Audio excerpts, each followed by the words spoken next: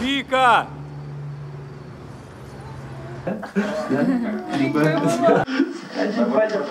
Не, не разувайся.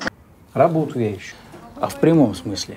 И дочери стали американками. Особенно Вика. Что, мама говорит, по математике у тебя не получается. Хочешь, я тебе помогу? Мы с мамой очень волновались. Ну, что делать будем?